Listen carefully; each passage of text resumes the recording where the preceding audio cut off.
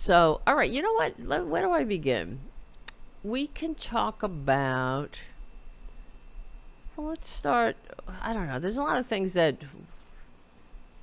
you probably already saw, like the DNC roll call comparison. This is, but this is a good comparison that you maybe you missed. It was on Morning Joe this morning, comparing Harris's acceptance speech to traitor Trump's, and it's like night and day. I see an America where we hold fast to the fearless belief that built our nation. We are indeed a nation in decline. It is now our turn to do what generations before us have done, guided by optimism. It's a massive invasion at our southern border that has spread misery, crime, poverty, Oh my disease, and destruction. And I destruction. see an oh, sorry, hit America the wrong button. where we hold fast to the fearless hear it again. belief that built our nation. We are indeed a nation in decline. It is now our turn Everything to do here, what according to Trump. generations before us have done, guided by optimism. It's a massive invasion at our southern border that has spread misery, crime, poverty, disease, and No, destruction. you know who spread misery, crime, poverty, disease, and destruction? Yeah, you know it. You're way ahead of me. Traitor Trump. And I'm not even kidding. Misery, disease, poverty, dis- what did he, what else did he say? Misery, dis- everything on that list. that has spread misery, crime, poverty, crime. disease, and destruction. Yeah, misery, crime, poverty, disease, and destruction.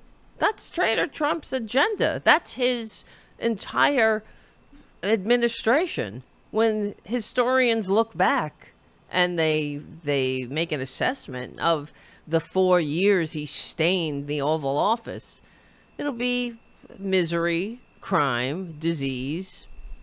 What's the other? Come? Yeah, I should take that test. Women, man, crime. I mean, camera, TV. that has spread misery, Misery, crime, poverty, oh, disease. Oh yeah, poverty, misery, crime, poverty, disease, and destruction. He loves this shit. No one has hurt the American people more than that con man. No one has done more damage than he. No one's left office with more Americans in their cold early graves than traitor Trump. And he's earned the the the ignoble distinction of being the worst president in American history for a reason. For those reasons. In fact, over 150 historians got together, uh, presidential historians, and rated all the presidents. And Traitor Trump is at the bottom of the list. He's number, he's the worst. Sickening. But, and, and he won't stop being the worst. My confusion comes from from the fact that anybody votes for this. Why? How sick do you have to be? You know, because he can't help himself. A disgusting parasite is going to be a disgusting parasite. That's who it is. That's its nature. You can, almost can't fault its nature. But anyway, here's uh let's go on with Traitor Trump and his the difference between uh where the world that Republicans live in and where the rest of us want to be. destruction. I will be a president who unites us, Crazy Nancy Pelosi, who is realistic, the biggest oh rallies you've ever seen. practical, Build an iron dome over our country. and has common sense. The late Iron great Dome. Hannibal Lecter. Oh Jesus Christ. He'd love to have you for dinner. And I will fulfill our sacred obligation to care for our troops and their families. The head of the Taliban. You call me Your Excellency. I wonder if he calls the other guy Your Excellency. I doubt it. Oh my God. I will always honor and and never disparage their service. Our military is not woke. It's just some of the fools on top that are woke.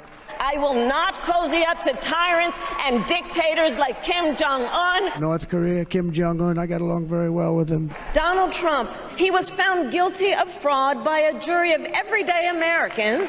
We will return law and order to our streets. Separately found liable for committing sexual abuse. We will launch a new era of safety. You can always trust me to hold sacred America's fundamental principles from the rule of law to free and fair elections to the peaceful transfer of power. We had that horrible, horrible result that we'll never let happen again. Oh. God. The election result, we're never going to let that happen again. They used COVID to cheat. We're never going to let it happen again. They used COVID to cheat. We'll never let it happen again. Fuck you. No one cheated you, con man. Please. I can understand how he's confused, given that he received fewer votes. He's never he's never received the most votes, and he was he was allowed to squat in the Oval Office the first time, despite receiving fewer votes. So I can understand he's a bit more confused than usual. Oh my god. Do we have a troll in the chat? We have a zero uh, tolerance for trolls, remember. We don't have to suffer them. There's plenty of places for them to go. Really. Randy 1, Jim 0. Yeah. I wouldn't. I don't count on it, Randy. Um, he popped in talking about what Obama. Yeah, Another bullshit. You know, Republicans are real, um, really focused on the bullshit problems that America s- supposedly faces. Uh, as for the real issues that will make America great, not so much they they they pop from bullshit issue to bullshit issue that they foment themselves. You know, they just pull it out of their asses and they run with it.